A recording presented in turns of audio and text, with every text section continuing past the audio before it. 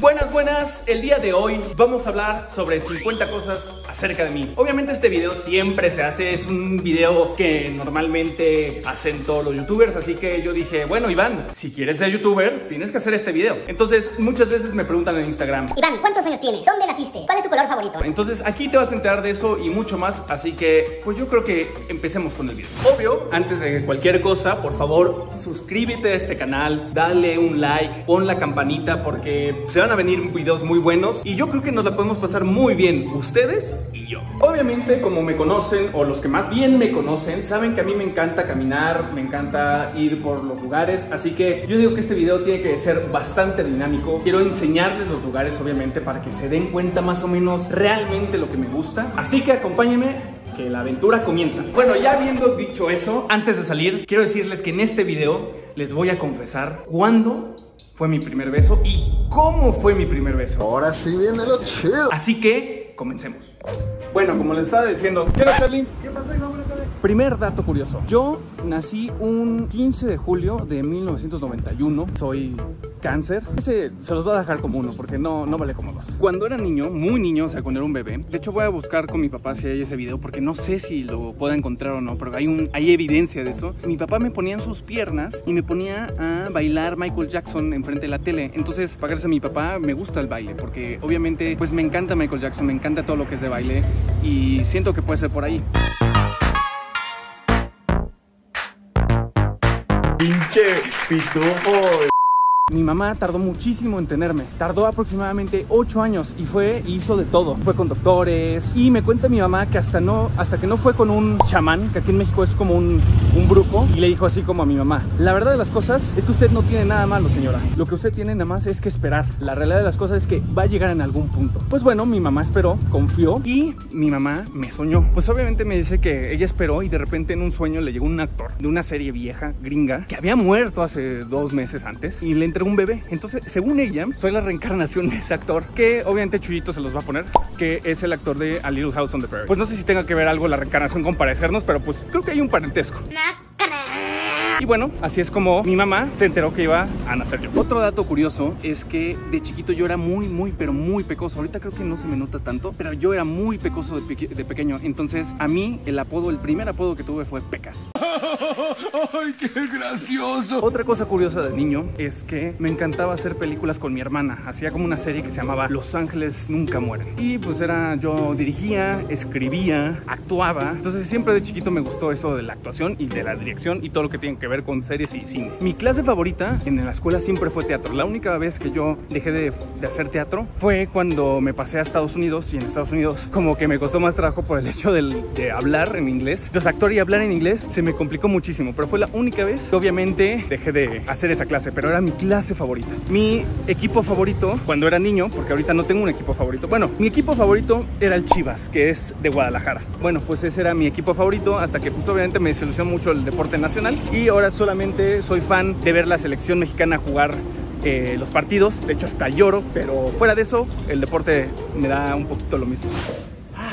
Mis colores favoritos son el negro y el dorado. Me gustaría usar más colores y espero en algún punto hacerlos porque me gustan mucho los colores llamativos, pero por el momento esos son mis colores favoritos. Otro dato curioso de mí es que tengo dos tatuajes, los dos son nuevecitos. Chuy pone los dos, que es el de Colombia y la antorcha. Los dos son emocionales, tienen que ver con la amistad, tienen que ver con esas cosas y creo que así es como amaría los tatuajes porque pues así rara vez te puedes arrepentir. Y algo que me acabo de acordar es que de niño sufrí un accidente y quiero contárselos. Pues eh, habían hecho un volcán de estos, ya saben, de los que pones y así brota, pero lo habían hecho con ácido sulfúrico. Entonces lo que pasa con ese ácido es que les hizo un hoyo porque lo hicieron en una superficie de plástico. Entonces como hicieron el hoyo, fueron a todos los salones a mostrarlo, a mostrar ese hoyo, pero iban goteando el ácido. Entonces a mí me cayó en, una- en un dedo, me lo lavé, pero después de eso me lo llevé a la cara. Entonces el ojo se me inflamó, que yo sentí que lo iba a perder y entonces empecé a llorar. Y de tanto que lloré, cuando llegaron mis papás para recogerme y llevarme al hospital, ya se había desinflamado. Entonces, moraleja de la historia es que no tiene nada de malo llorar y a veces te salva la vida. Otro dato curioso es que en la infancia, en mi infancia, mi crush, crush, crush, que no sé si lo ubican, la ubican, es Belinda. Belinda siempre fue mi crush de la infancia, la veía en todas las no- telenovelas, me encantaba. Desde niño quería ser actor, era como mi, mi fantasía. Siempre quise estudiar en el CEA, que es una escuela de actuación de Televisa. Y obviamente estudié en Casa Azul, pero bueno, quería ser actor desde niño. Otros son eh, mis gustos musicales, han sido muy variados desde siempre. Primero fui mucho de, desde los cero, sea, desde los cero, imagínense, desde el primer año hasta los 10 años me gustó mucho el pop en inglés. Eh, escuchaba mucho Michael Jackson, escuchaba mucho Luis Miguel. Era lo que mi papá ponía, era lo que a mi papá le gustaba. Después Después, hasta los 13, me gustó mucho la música romántica, era mucho de Camila, Sin Bandera y cosas así. Y hasta el día de hoy, lo que más me gusta es el hip hop. Cuando me mudé a Estados Unidos, me encantó escuchar hip hop, me encantaba eh, poder escuchar mucho Kanye West, Jay-Z, me hice mucho del rap y del reggaetón desde ese tiempo. Y aparte de eso, cuando estaba en Estados Unidos, que es cuando me gustó los gustos musicales del hip hop y todo eso, nunca me he peleado, pero ahí, en Estados Unidos, sufrí un poco de bullying. ¿Por qué? Porque no me consideraban gringo, porque era extranjero. Una vez me acuerdo que en el locker, así típica de Estados Unidos en el locker, tuve que agarrar al niño de, del pecho y aventarlo contra la pared, ponerlo contra la pared porque no me dejaba de molestar. Entonces esa fue la única vez que me peleé. El lugar que más he visitado en mi vida son Las Vegas. Yo creo que he ido unas fácil 10 veces. Me encanta. Iba desde niño. Mis papás me llevaban a Las Vegas, no sé por qué. Pero yo me divertía mucho con el tema de los buffets, con el tema de los teatros, el tema, todo eso me encantaba. He tenido seis novias en total, de las cuales solamente la última fue la que pues, duré casi 8 años, entonces fue la más eh, duradera. Otro dato, que este es como noticia, actualmente me gusta alguien y verdaderamente me gusta. Mi comida favorita es el sushi, como pueden ver. Lo amo, lo amo con todo mi ser. Y lo otro que me gusta comer son las alitas. Sobre todo las alitas que son súper picosas. Me encantan todas las alitas que tengan que ver con, con, el chile. Casi no soy de las alitas secas. Y sobre todo prefiero que sean boneless, o sea, sin hueso. Es más bien pechuga. Mi café favorito es el café de Quintin o Quentin, que está ubicado en la Roma. De hecho, normalmente si ven las historias que hago, normalmente es en ese café en donde me ven, o sea, ven esta banquita. Normalmente me gusta estar afuera más que adentro, entonces es mi, es eso.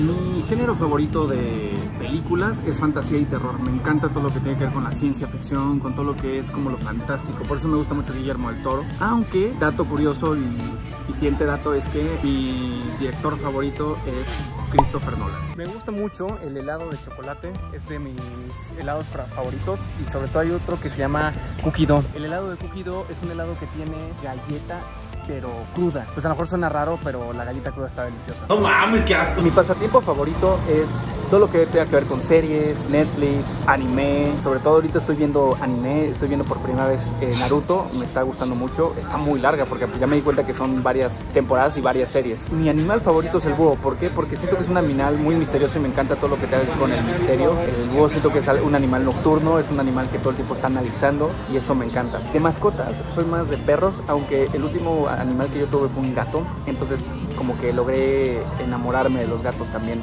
De hecho se llamaba Tot. Mi sueño de toda la vida es eh, ser director de cine. Me encanta el cine, entonces en algún punto quise ser actor, pero dije también puedo ser director. Entonces no solo es ser actor, sino también ser director. Y últimamente otro sueño que tengo, pues al fin y al cabo lo que estoy haciendo ahorita, es hacerme youtuber. Creo que es algo súper padre y creo que tiene como también esta idea como de crear cosas, como el hecho de grabarte.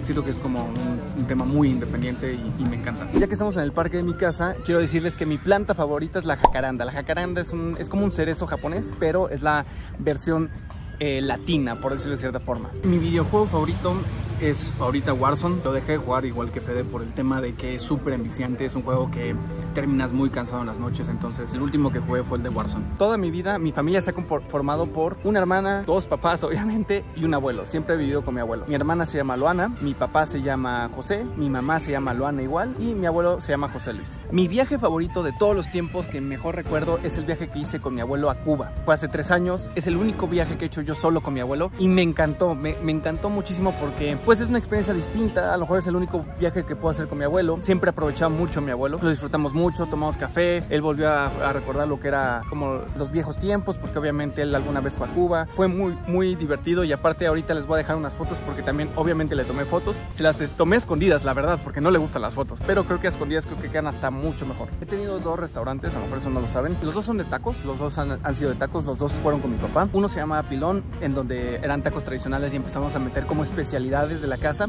El otro se llama Tona, que ya fue cuando quise hacer algo como con más fuerte con las especialidades. Siempre fueron tacos. Otra cosa es que salí en La Rosa de Guadalupe y también en comerciales, actué en comerciales. Ahorita les dejo cachitos, otra Chuy. Hola, soy Estrellita. ¡Wow! No nos perdíamos de tu telenovela, nos encantabas.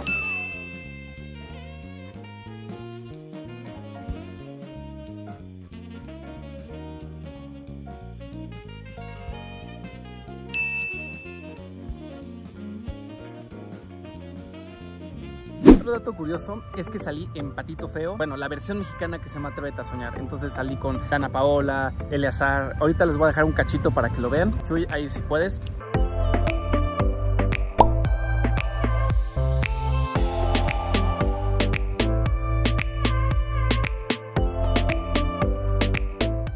Pues bailé, era un tema también como de salir de extra, era uno de los alumnos. Estuvo muy divertido, fue como de mis primeras experiencias. Si ven, hice un poco de todo, he hecho un poco de todo. Como me gustó mucho el tema de la producción y todo eso, desde que entré a la escuela, entré a Telehit. En Telehit fui eh, con, eh, conductor...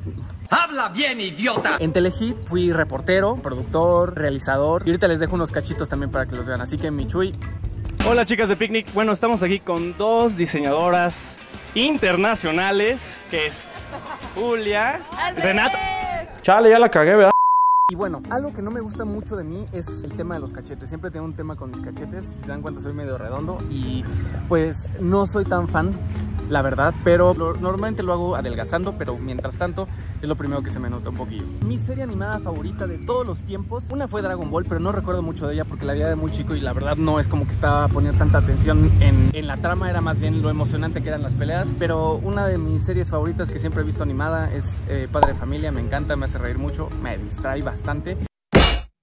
Y algo que no, pero no tolero nunca, que es horrible para mí, es el tema de la gente, o sea, el sonido de masticar de la gente. O sea, yo siempre que estamos, estoy comiendo con alguien me gusta platicar porque el tema es que es horrible para mí escuchar a la gente masticar. O sea, ese sonido de clac, clac, clac, no puedo. Me pone, me pone muy, muy, pero muy de malas. Ahora sí, el momento que todos esperaban, o a lo mejor solamente yo soy el único que lo esperaba para contar lo que es mi primer beso. Mi primer beso fue a los 13 años, fue con mi primera novia, fue en mi casa, sí, qué pillo, ¿no? Estaban mis papás, estaba mi hermana y fue medio a escondidas, la verdad. Pues fue muy lindo, aunque esa relación fue horrible.